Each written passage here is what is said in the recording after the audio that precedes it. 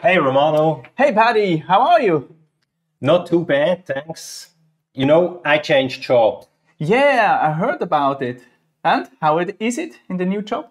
Well, as you can imagine, I face now the same issue as last time when I was here.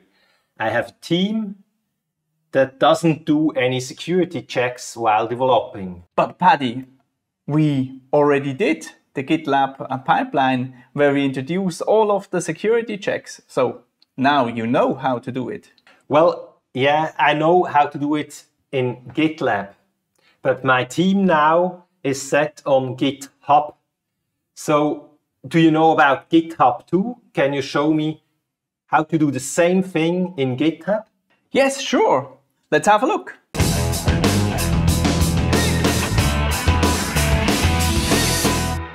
Well, as Romano already teased, we've already done the whole DevSecOps pipeline for GitLab.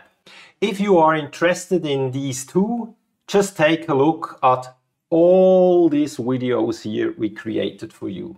And by the way, we're going to compare GitLab and GitHub at the very end of all the sessions for GitHub. But in these sessions now, we only take a look at GitHub. So first of all, we need to understand what exactly GitHub is. So GitHub is a distributed development platform where you can build your development pipelines and you also have your version control in there. GitHub was acquired in 2018 by Microsoft. GitHub is one of the largest developer platforms out there with roughly 83 million developers on it and 28 million repositories. So now, Padi, we need to have a look at what we exactly want to achieve with a DevSecOps pipeline. Let's go for it. When we are developing things, then we develop products. We don't develop projects. A product is continuously developed during this infinity symbol, which you can see there. This is the so-called DevSecOps cycle. In this cycle, we are going to all the steps from plan, code, build, test, deploy, release, operate, and monitor. This means that a development pipeline or a development platform needs to support all of these steps. But to understand these platforms a little bit better, we need to understand the terms which we are using when we introduce such a platform like the CI/CD pipeline. So first to the CI part, which stands for continuous integration. Continuous integration is happening then when the developer develops the code on his or her local machine and then commits the code to the source code repository. There, the code gets reintegrated with the rest of the code. This is why we call that continuous integration. The continuous integration server takes this new code, builds the code, does the static code analysis, does the static security analysis, the unit testing, and perhaps also some integration tests. The most important thing is that the continuous integration server needs to give as fast as possible feedback back to the developer. And we are talking here not about days or hours, we are talking here about minutes. It is about minutes because if we don't give the, the feedback very fast, then the developer starts something new and then he needs to rethink again if something happens on the continuous integration server. If you want to know more about the continuous integration step, then you can watch these two videos up there where you get some more insights into this continuous integration step. After the continuous integration, we have the continuous delivery. So the output of the continuous integration step is a deployable artifact. So this deployable artifact is now deployed into a staging environment, which is a production near environment. Here we can now execute some automated tests or also some manual tests. Again, it is very important that the developer gets as fast as possible feedback if everything was okay. So if you want to know more about continuous delivery, then you can watch that video up there. Last time I learned that there's also continuous deployment and that's a different thing than continuous delivery, although it's also written in short as CD. So that's the next step then, right? Absolutely. So when we talk about continuous deployment, then we need to do everything that we have done in continuous integration. We take this deployable artifact, install or deploy it into the staging environment. Then we are going to execute a set of automated tests. And if they are green, then we take this deployable artifact and install or deploy it directly in production, where we again execute a set of automated tests. When these automated tests are failing, then we immediately do a rollback to the latest stable version. And again, here the feedback, the fast feedback is very essential. If you want to know more about continuous uh, deployment, you can watch these videos up there. Note that in many companies, this last step, the continuous deployment, is actually not an automated step but requires a formal manual trigger. This is often due to requirements when it comes to security procedures that need to be followed first. And Padi, if we are doing that and we have a manual trigger, then we don't do continuous deployment, then we do continuous delivery, which is completely okay because many companies out there are just doing continuous integration and continuous delivery and not continuous deployment, which is perfectly fine because it suits their needs.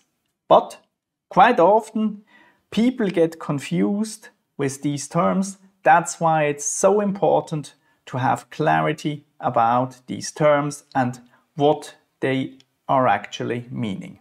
Good, Romano.